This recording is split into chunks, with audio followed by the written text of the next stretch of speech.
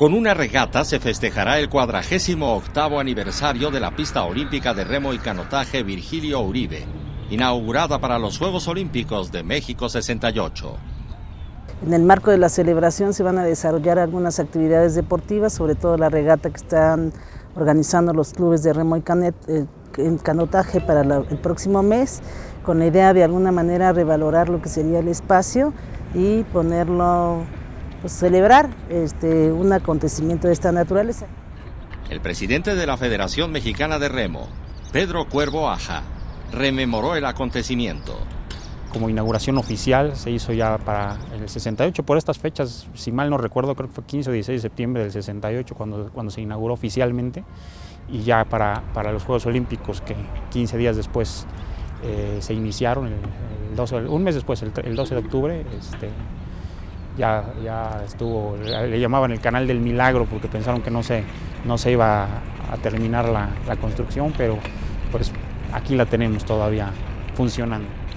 Construida entre el 23 de enero de 1967 y julio del 68, la pista olímpica de remo y canotaje tiene una superficie de 600.000 metros cuadrados y fue edificada por la entonces Secretaría de Obras Públicas a través del entonces Departamento del Distrito Federal como pista eh, hecha exprofeso para, para remo y canotaje fue la primera eh, en su tipo.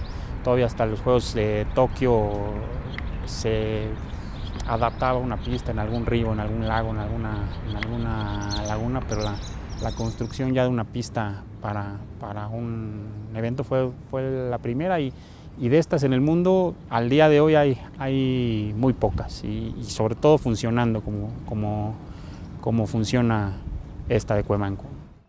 Actualmente bajo la administración del Instituto del Deporte de la Ciudad de México. A la pista se le realizan trabajos de remoción a fin de mantenerla en óptimas condiciones.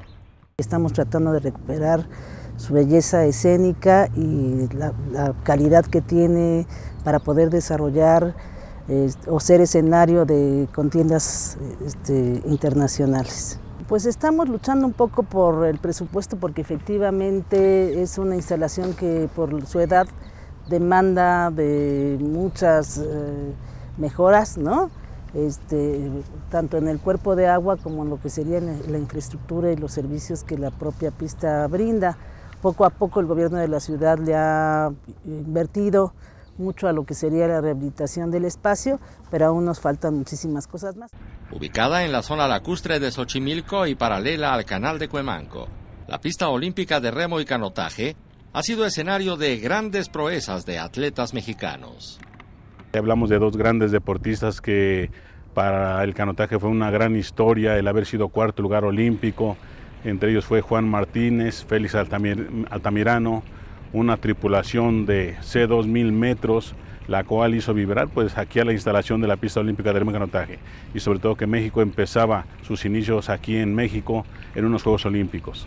Aparte, pues bueno, aquí hemos tenido grandes deportistas y campeones mundiales, ¿no? Entre ellos tenemos a José Berardo Cristóbal Quirino, que fue nuestro primer campeón mundial en 2006. La gran regata para el festejo de los 48 años de la pista olímpica de remo y canotaje se efectuará este 8 de octubre. El, remo es, un gran deporte, es un deporte muy completo, es un deporte en el que se está en contacto directo con, el medio ambiente, con la naturaleza. Además es un deporte muy, que requiere mucha disciplina, requiere mucha dedicación. Con información de Gabriel Vaquero y Sergio Abarca e imágenes de José Luis Leone, Notimex.